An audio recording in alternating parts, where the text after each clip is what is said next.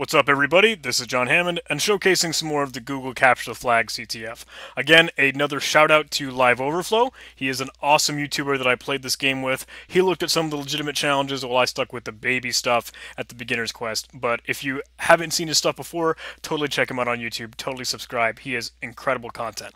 So let's get to the real stuff that I want to talk about today.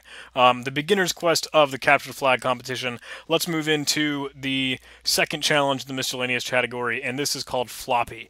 It says using the credentials from the letter you logged into the Foobanizer 9000 PC. It has a floppy drive. Uh, why? There's an icon file on the disk, but it doesn't smell right. Hmm. Let's go ahead and download this attachment. Save this into GCTF where we were working out of. Um, the directory we can call it floppy. And let's open up a terminal and see what we've got to work with. cd2 gctf floppy. Um, totally can't type this file is, what are we actually looking at here? Another zip archive. Okay, so let's move that to floppy.zip. And now we can unzip that pretty easy. Good. Let's see what we've got here. We've got an icon file, foo.ico. Um, what is that really? MS Windows icon resource, one icon, 32 by 32. Can we view it? Okay, looks like Borland. Little little beetle thing there. Um, let's see what's really in it. Nonsense, nonsense, nonsense. Ooh, driver.txt, www.com. Huh. Okay.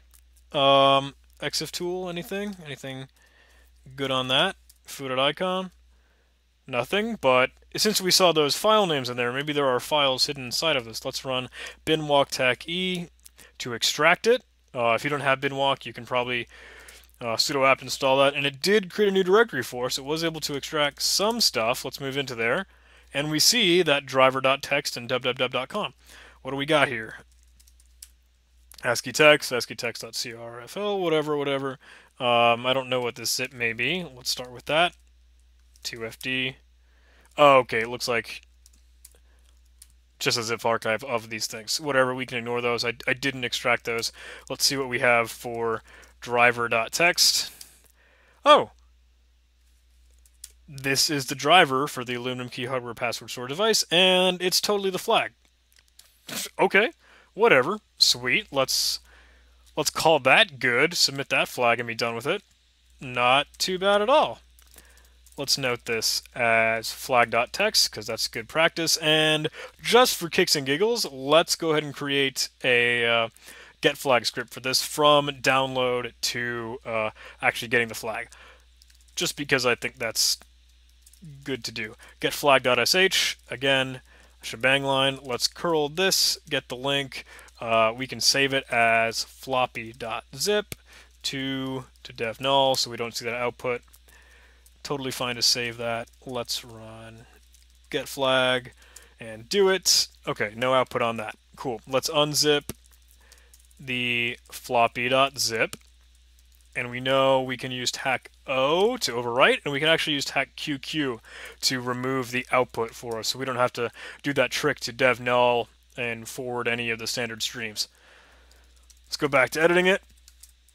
What we can do is we can run that binwalk tech e on foo.icon as it extracts, and I think we can use tech q on that too, right? Is there a uh, tech q? Tech lowercase q, quiet. Suppress output is centered out. Perfect. Um, and now we would have that underscore foo icon extracted. So let's cat everything that's underscored and cat out driver dot text dot text. Holy cow, I cannot type. Run him. Okay, that prints out the flag for us. Um, and we're getting extra ICO extractions, extra folders because bin is doing that for us. So what we can do in our get flag script is actually remove anything that has that starting with that underscore. Thankfully, binwalk has that for us um, in a smart way. Just using that underscore to denote this is the output of binwalk. And now they're all gone, so once we run get flag script, it'll do that cleanly for us.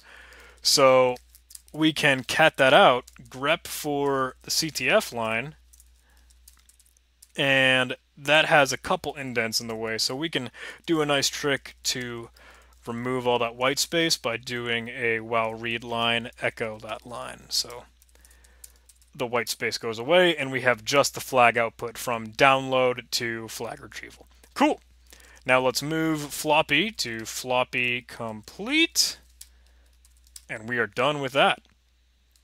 Thank you guys for watching. Hope you enjoyed this. Um, hope you're enjoying some of these videos. Um, again, nothing too crazy, some of the beginner request stuff, but hopefully there's some interesting content that you guys like, um, some syntax or techniques you like to see.